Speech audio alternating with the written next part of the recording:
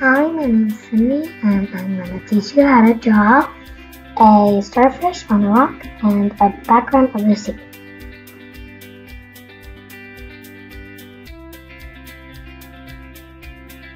First, right now, I'm just going to sketch it, and then I'm going to go over it with shape. For now, I'm just doing the ground. Then the rock.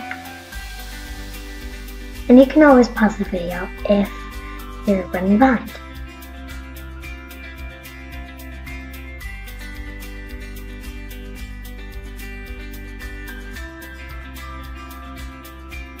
The dots I'm doing right now are the sand.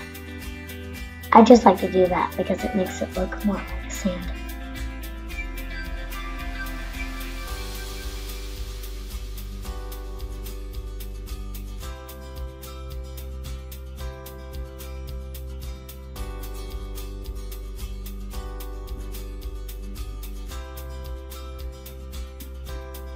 I'm not that good at drawing that much because this is my first episode, so I'm really excited too. I'm doing the starfish, starfish right now, I messed up.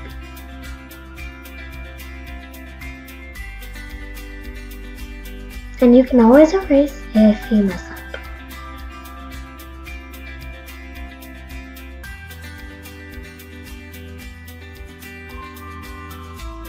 I don't know why, but I just love doing starfishes.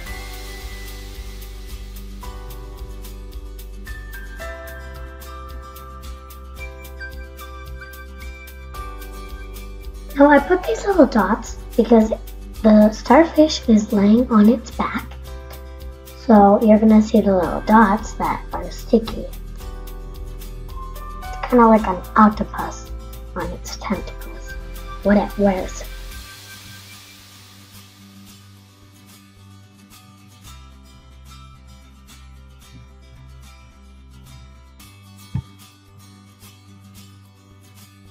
One more and then I'm gonna do the middle.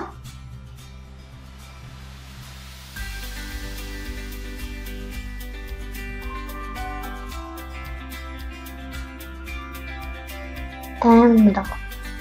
There we go.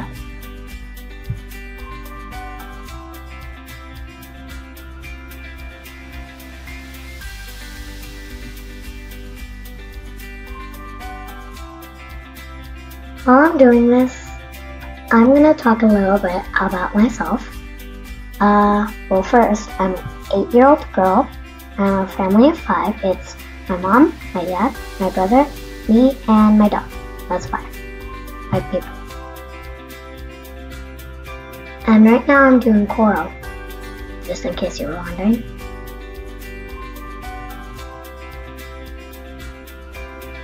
My dog's name is Lena. My brother's name is Toby. My name is Sydney. I think I already said that, maybe. I don't know. My mom's name is Paula and my dad's name is Toby Senior. I love to cook with my mom. That's another fact.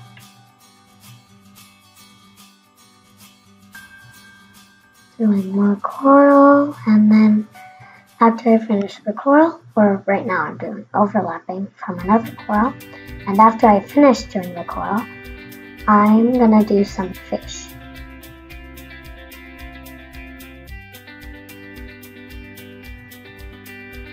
Like I said, if you're running behind, you can always pause the video.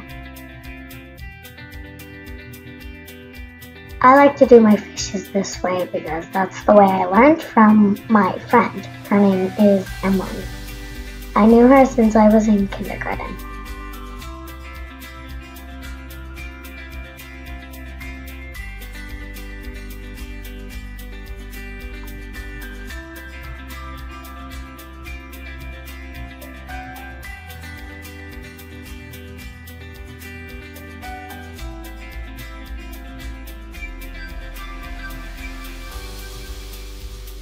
I like to draw patterns on my sea animals, some of them, mostly fish, because it just makes it look a little cool.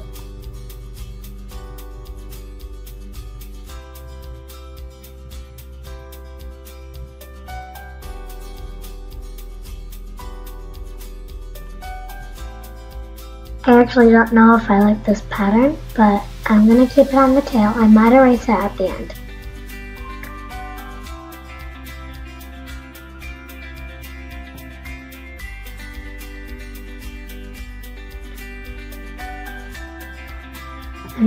Another bigger fish and I'm gonna do the eyeball and then the mouth.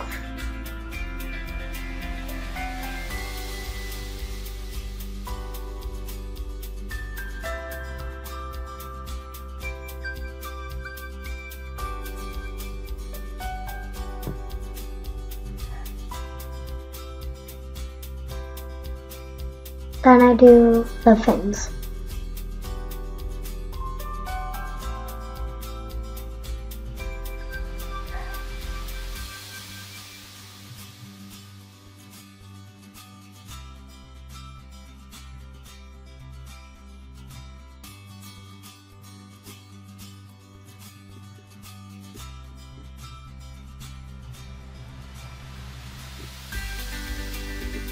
After you're done, just do what I do. This is just, these lines on the rocks are just little scratches from the skin of the, uh, what's it called? Oh, starfish. And then it's, there's a, two cracks, one on the bottom and one on the top. I just like to put my things that way. My mom says I'm creative. That's why I do these things. Now I'm starting to draw a sea lion or seal. I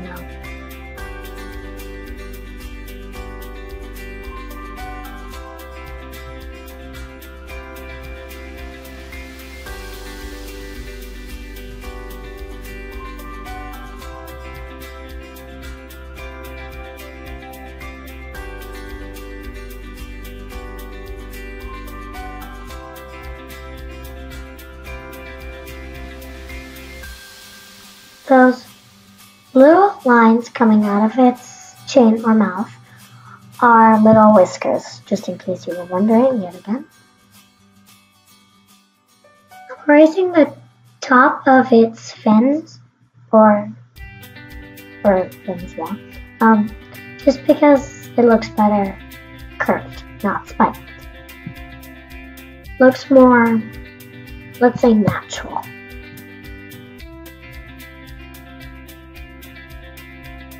Now I'm doing the sun. You can't quite see it because my paper is kind of off the edge.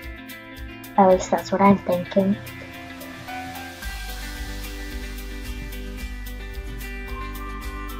Now I like to just draw clouds in the background, always. Clouds are my inspiration. Hmm. Now a bird with a little baby, another bird, and then a bird with big bird and a mom bird, a big brother, and a little sister. That's basically what I am right now. I'm a little sister of my brother. He's three years older, so he'll be 11. I use Sharpie right now. I am going to use it right now. First, I'm going to do the ground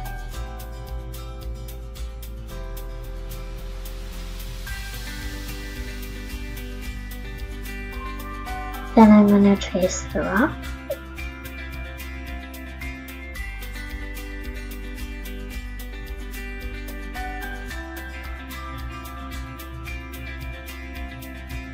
Now I'm doing the scratch.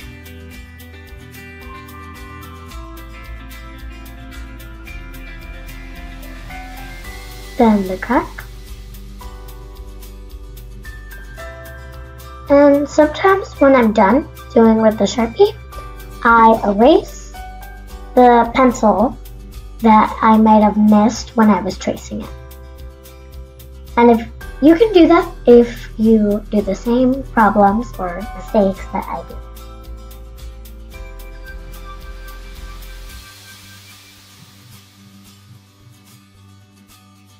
Tracing the starfish and then I'm going to trace the little circle sticky thingies.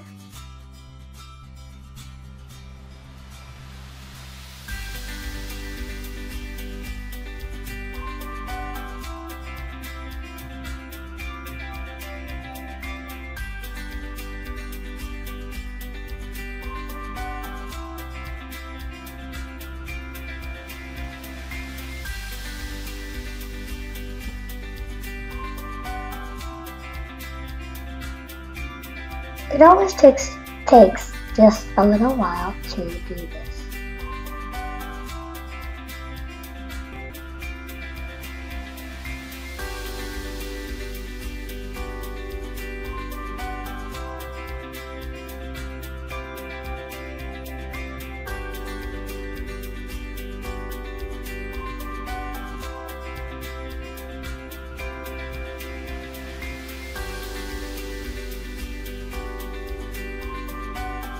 Coral is my favorite part because I like making wiggly lines.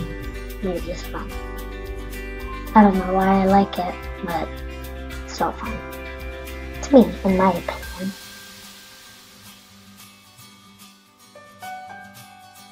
Sometimes when I'm doing a line to the ground or to the bottom of the paper, I don't like to go fully because if I if it's if it doesn't have a ground and it's just the bottom of the paper, I don't want to mess up and draw some Sharpie on this wood that I'm drawing on right now.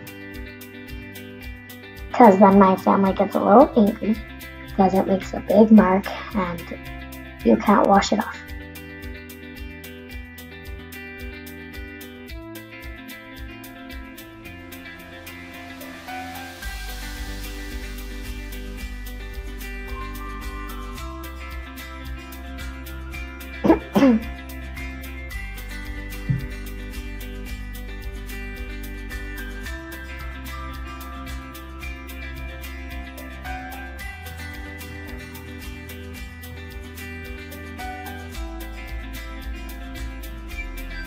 My other fish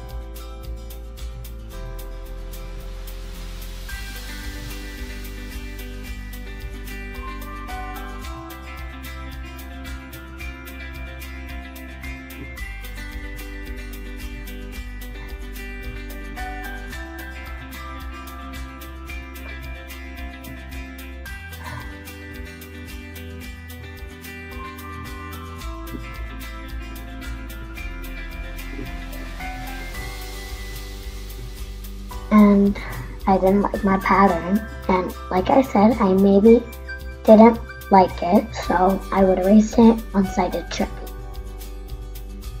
And that is what I did.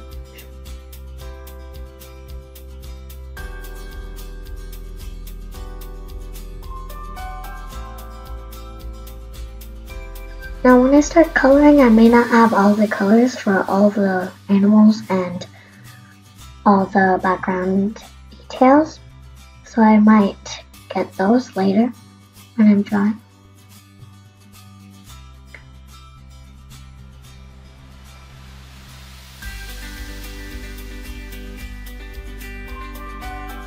When I erase, I just like to put or take the little scraps of the eraser off my paper because I don't want to draw on it. Because if I draw on it, it's going to leave a little white. I'm not going to trace over it on the paper. So I like to get rid of all.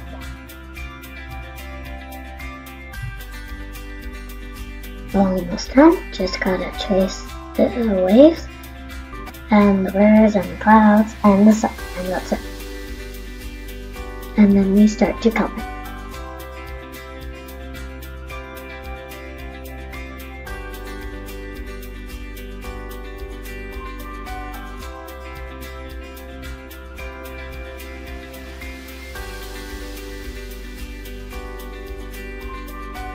I like to turn my paper for stuff just because it makes it a little easier. Because if you're doing like a curved line that's kind of hard, you can turn your paper, or if it's really long, you can turn your paper and it will make it easier.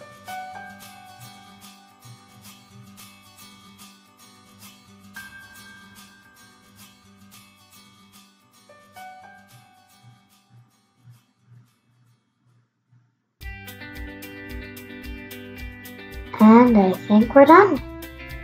Now on to coloring. Oh, no, there, I missed that. I got to do the sand dots.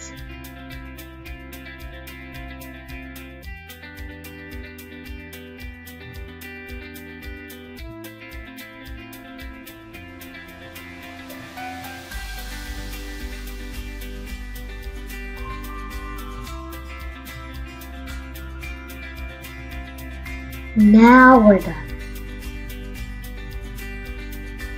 Now I got these colors, uh, pencils, colored pencils, actually at an airport when I was going to a vacation place called Cancun in Mexico.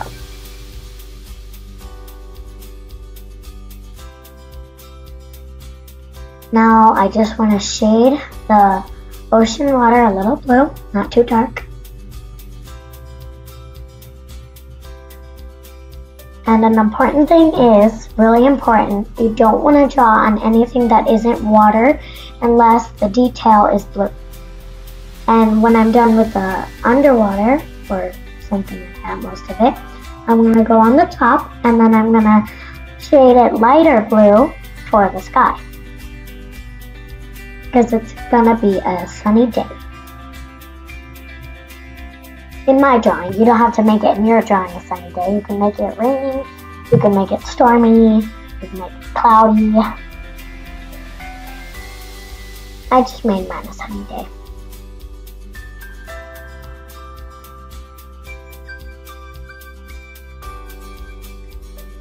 Also, when I was drawing with my pencil, you could have drawn any other sea animal or sea creature or any other plant, sea plant, or like seaweed or a seahorse or any other type of thing that connects to the sea that is, lives or is in the sea, you can draw that. And I might actually draw some different details when I'm done coloring or when I'm close to done.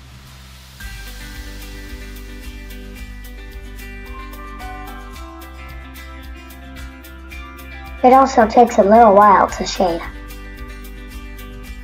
or to color in the sea as much as I did.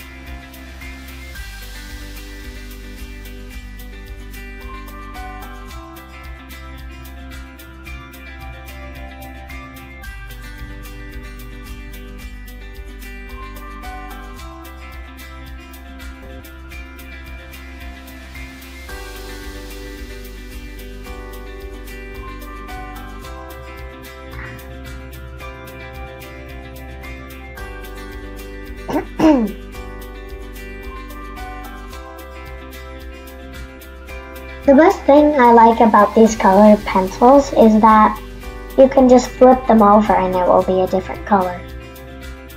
Like if I'm using the blue to color the ocean once I'm done, I can just flip it over to orange and color it on the coral, which is right next to it where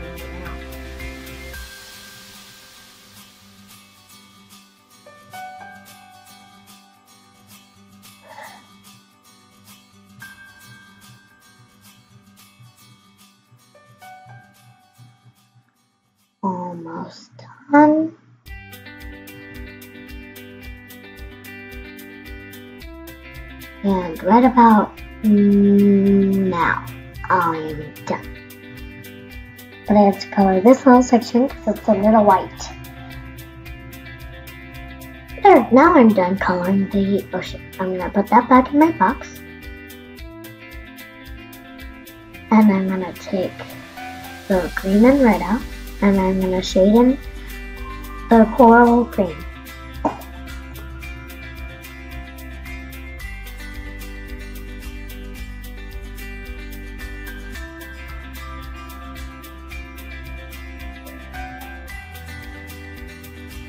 And I'm going to tell you a little trick that I learned all by myself.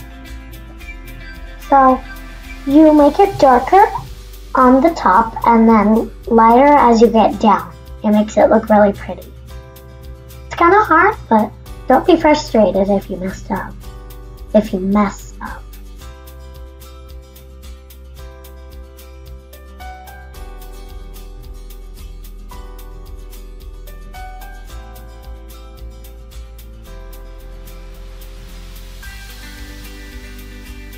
Done with that coral. Now onto the next one. And these two corals are going to be the same type, so I'm coloring them both green. But on the next two, on the other side of the rock, I'm going to color them different colors. Maybe yellow and a different color.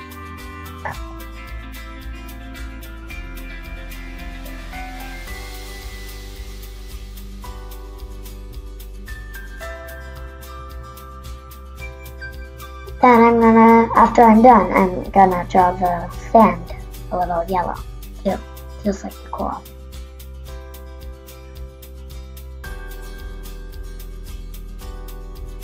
And the other one, I just want to color it red, just for some reason.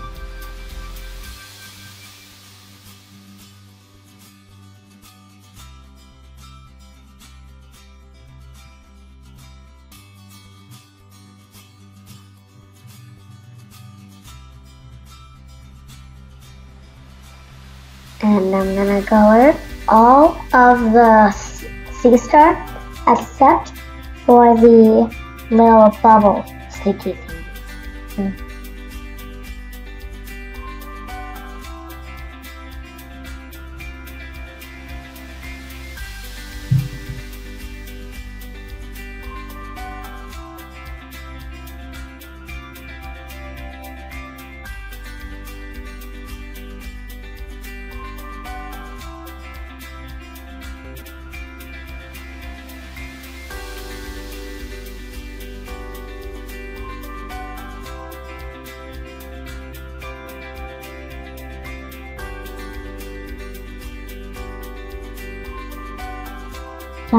starfish and now I'm gonna, let's see.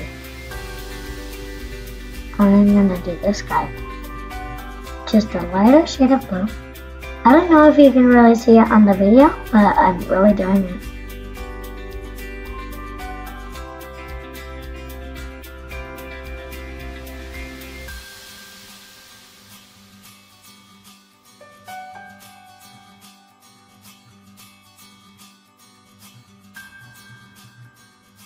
I'm going to color this one. And then where the lines are, I'm going to also color that yellow.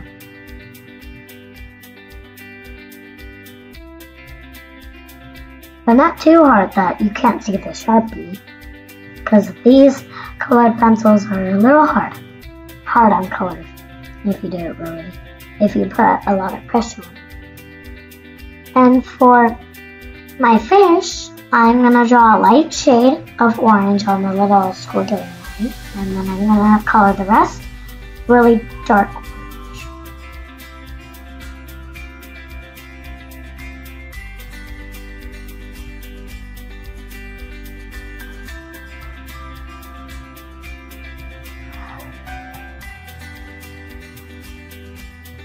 Geez, my arm and my hand are starting to hurt from pressing so hard.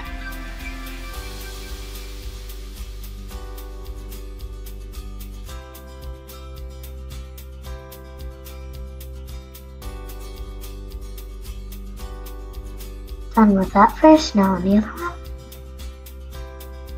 I want to draw this one purple because this purple is my favorite kind, my second favorite kind of purple. My first favorite is purple with sparkles. Like obviously I love sparkles so much. I don't know why. Like I like I love every single color with sparkles. Pretty much also like every single color, even without sparkles. But it's even better with sparkles. And another trick is that I'm doing moss right now, and you shoot it in, and then you draw darker or put more pressure. You draw some squiggly lines to make it look a little fluffy. That's another trick I learned by myself.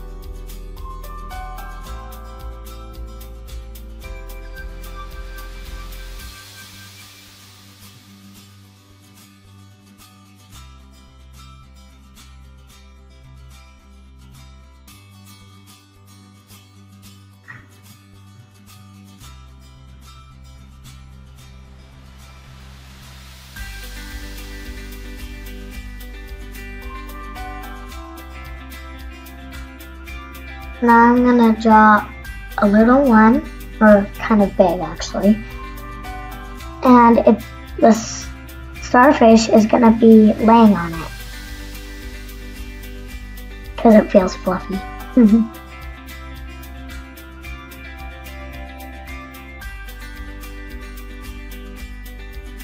Now I might not have all the colors for every one of them, so I'm gonna draw right now.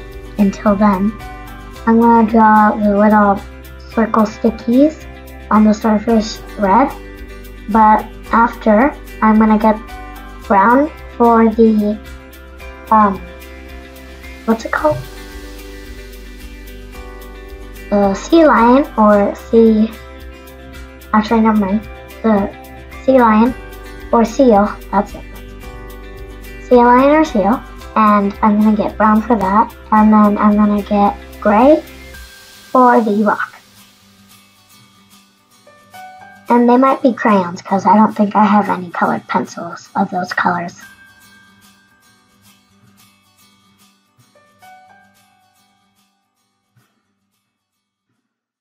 I'll be right back.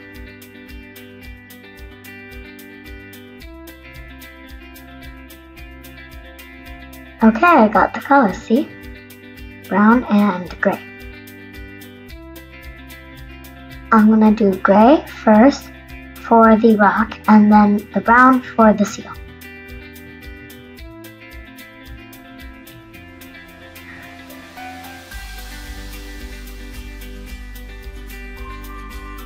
Like I said, it's always easier to turn your paper when you're shading or drawing.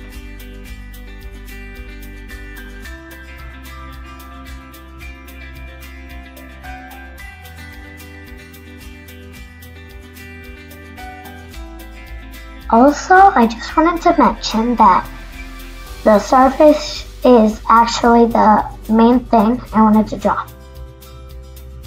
I just like to be creative and draw some other things like in the background. Now I'm drawing my sea lion gray, or gray, what am I saying, brown, and that brown.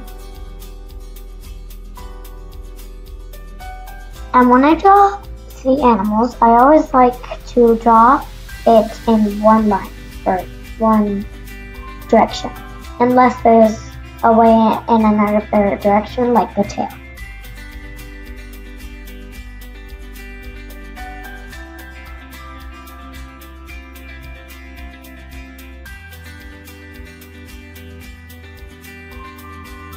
Now I'm coloring the sand yellow.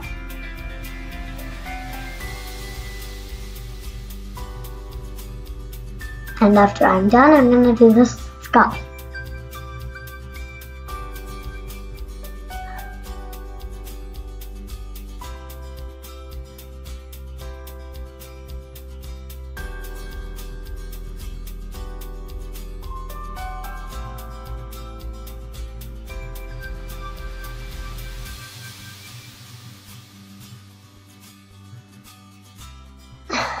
I think my ground is a little plain, so I'm actually going to draw a seashell as best as I can.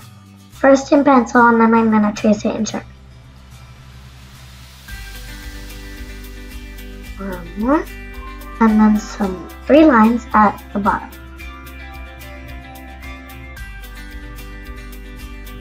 Now I'm going to trace it with Sharpie.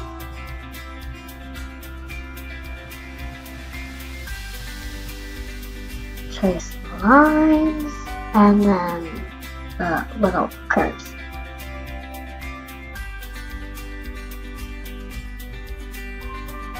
when you, a little tip is that when you are drawing shells like this, you always want to make the little curves kind of connected a lot. But at the top you can leave them a little space out since they curve.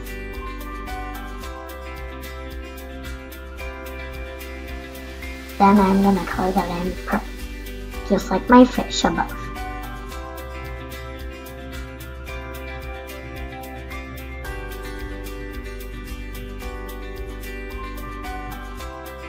Now I'm gonna color around it, still sand, or sand.